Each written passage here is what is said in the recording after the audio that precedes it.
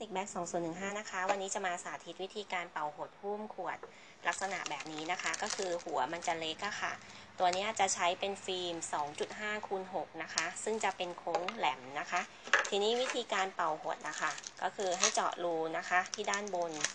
1-2 รูนะคะเนี้ยเพื่อระบายลมร้อนแล้วก็ทำให้ฟิล์มเข้ารูปได้สวยขึ้นนะคะทีนี้ถ้าไม่ได้ใช้โค้งเนี้ยค่ะ เวลาที่เราเป่าแล้วมันจะเหลือขอบเยอะนะคะค่ะ อันนี้ให้เป่าล็อกที่ก้นก่อนเลยนะคะ ค่ะเมื่อฟิล์มล็อกแล้วนะคะ ก็ให้เป่าไล่ขึ้นด้านบนค่ะ ตัวนี้จะสังเกตว่าถ้าเราใช้เครื่องเป่าลมร้อนนะคะฟิล์มมันจะหดไวนะคะ แล้วก็แพ็กเกจไม่เบี้ยวและจะสังเกตเห็นว่าฟิล์มอะค่ะมันเข้ารูปได้สวยงามเลยนะคะค่ะ อันนี้นะคะ ถ้าเราหมุนดูรอบๆอะค่ะ มันจะไม่มีตะเข็บที่ด้านข้างเลยนะคะค่ะ